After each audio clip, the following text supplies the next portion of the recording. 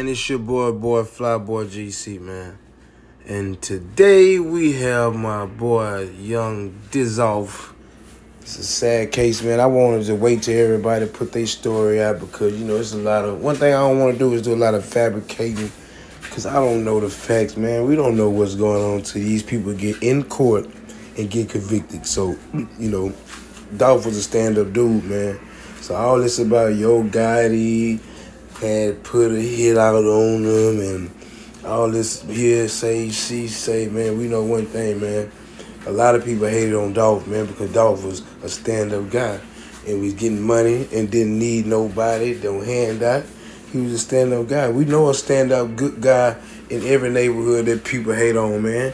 So, you know, we don't know who it came from, where it came from. So all these bloggers already putting their people name out there, man, and saying this and that to get likes and views, man. I don't like that because me personally, when you get convicted and evidence come out, then you can say this. But as far as people saying Soulja Boy and a Blac Youngsta, yo, man, say man, don't blow these people name up for no views and likes, man, because you might have to see these people one day and you up here trying to get some attention and views and these people, you don't even know the facts. But this man was a family man, man. This man took care of his family. One thing I respect about a man, man, that take care of his family, man, and don't need nobody to, to help him or do so. But here go, you know, um, a clip, you know, from back in the days where Yo Gotti wanted to sign Young Dolph, and Young Dolph, you know, you know, said that after he said no, he was one of his biggest haters.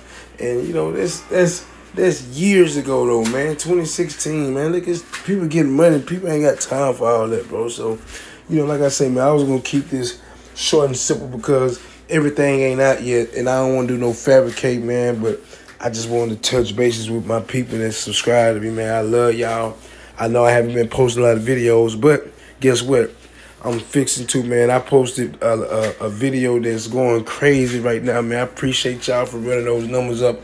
Um, if you haven't, go check out the handicapped teacher who molested a, a student in her class, man, because that that right there is a 17,000 views, man. Thanks to my team, Fly Boys and Fly Girl. Let's run it up, man. Let's get 1K.